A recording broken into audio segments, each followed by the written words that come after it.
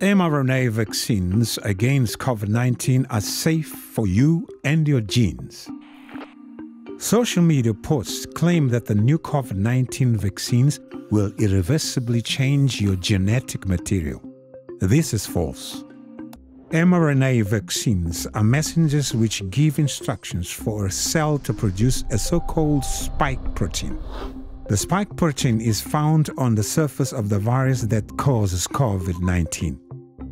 In the nucleus of your cell, your DNA is surrounded by a double membrane blocking the messenger from entering. After the spike protein is created, the messenger vaccine is broken down into small harmless molecules. Your immune system recognizes that the spike protein does not belong there and begins building antibodies. Should the real coronavirus enter your body, it now knows how to protect itself. Contrary to some claims, the vaccine won't reprogram your DNA, but it does provide your cells with the necessary information to kill the virus.